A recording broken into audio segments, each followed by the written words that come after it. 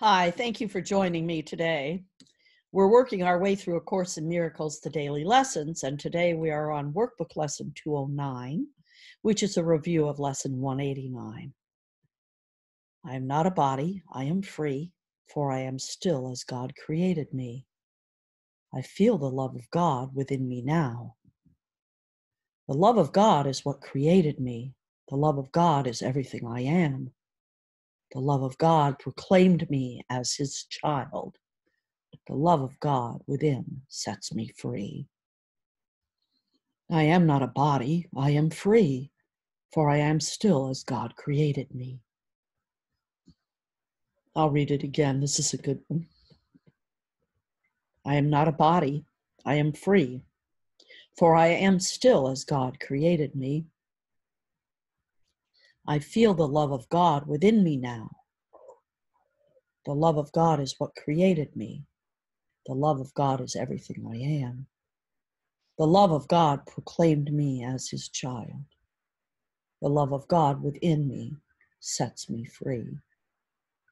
I am not a body, I am free, for I am still as God created me.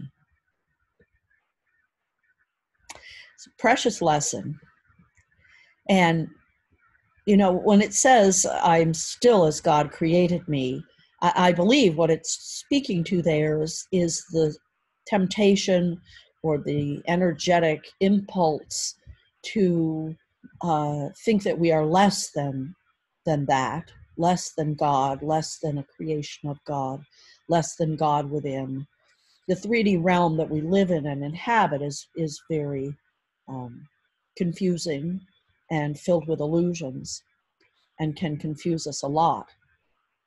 And i believe that that's what this is speaking to is i am still as god created me regardless of the illusions regardless of the sense that i have that i am separate that i am somehow individual that that i'm somehow alone. None of these things are true of course.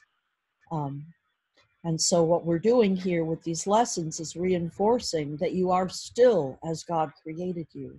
You are still a part of the, the fabric of the universe. You are still God in, in form. So, um, I hope you have a great day with it today. If you need help, you can reach out to me 907 351 3003 message me on YouTube or Twitter, or not Twitter, sorry. Uh, I do that so often, I don't know why. Uh, Facebook, YouTube, SoundCloud. And I'll hope to see you uh, uh tomorrow for the next lesson. Namaste and much love.